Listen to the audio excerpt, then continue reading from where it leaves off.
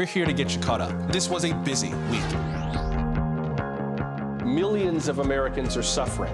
Thousands are dying every day. How is domestic terrorism different from other kinds of terrorism?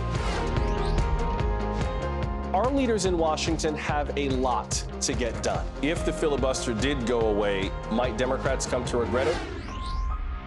History makes me know that I am a part of this world, not apart from this world.